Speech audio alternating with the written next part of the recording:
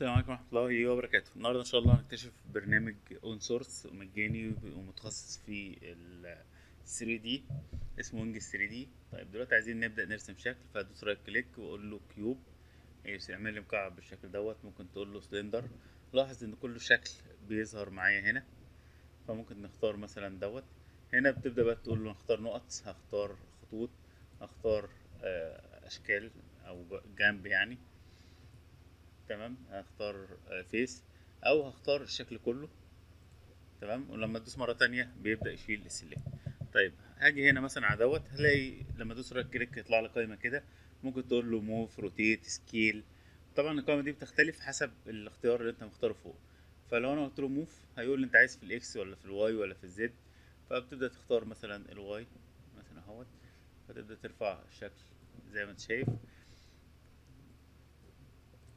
right click تطلع لك القائمة دي تبدأ تختار منها هدوس هنا وممكن بقى تدوس بالبكرة فيبدأ يحرك لك الشكل زي ما انت شايف. تمام؟ ممكن مثلا نقول له إحنا عايزين نختار من الجوانب فنختار مثلا الجنب ده والجنب دوت. ممكن تدوس right click وتبدأ تشوف إيه الأوامر اللي موجودة عندك هنا. ممكن تقول مثلا bridge فيبدأ يرسم لك أو يوصل بينهم بالشكل دوت. ممكن تختار جنب من دول وتدوس هنا وتقول له مثلا أنا عايز أعمل bevel أو extrude مثلا بالشكل دوت. فبيقول لك أنت عايز في ال Y ولا في ال Z ولا في ال X أهوت. ممكن تدوس هنا وتقول له مثلا عايز أعمل insert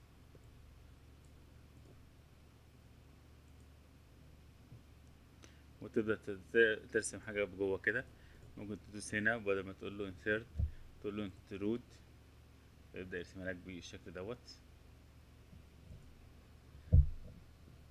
كل واحدة من دول بيبقى ليها الأوامر الخاصة بيها يعني تقدر تعمل select كده. هتلاقي الأوامر flatten هتلاقي plane cut مثلا في ال X أو في ال Y أو في ال Z مثلا. يبدأ يقولك أنت هترسم الحاجة دي فين. ممكن تقول له أنا عايز أرسم خطوط تدوس هنا هتلاقي القايمة اختلفت فممكن تقول له cut أو connect أو bevel أو flow connect زي ما أنت عايز. آه ده مثلا بتعمل extrude للخطوط نفسها.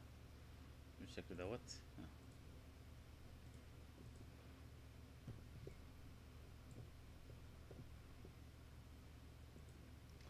تقدر تقول له أنا عايز أختار مثلا الجزء اللي فوق هنا وممكن بقى تقول له lift تقول له bevel زي ما أنت عايز.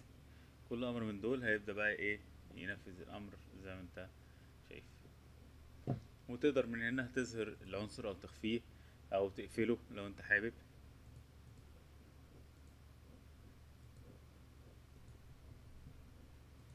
اهوت تقدر تخفيه تقفله تشوفه كخطوط وهكذا بالشكل دوت. ممكن مثلا نختار مثلا إن أنا عايز الجزء دوت تقول له select تقول له أنا عايز أعمل similar أعمل select للعناصر اللي متشابهه معاه وبعد كده ممكن تقول له insert وبعد كده ممكن تقول له مثلا extrude لفوق أو لتحت زي ما أنت شايف. وهو من البرامج المجانية القوية اللي تقدر تعمل بيها أشكال ومجسمات ثلاثية الأبعاد بشكل قوي.